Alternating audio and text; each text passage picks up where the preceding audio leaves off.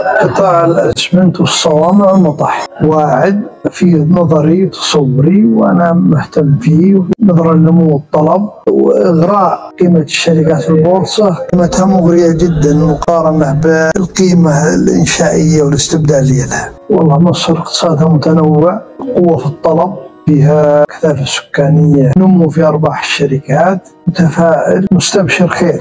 شراء أسهم من السوق تطلع لزيادة استثماري في البورصة المصرية ولجاذبية فرص كثيرة قيم مناسبة وارتياح إلى منظومة سوق المال حفظ حقوقي كمستثمر شاكرين جدا أهلا وسهلا. الله يسلمك.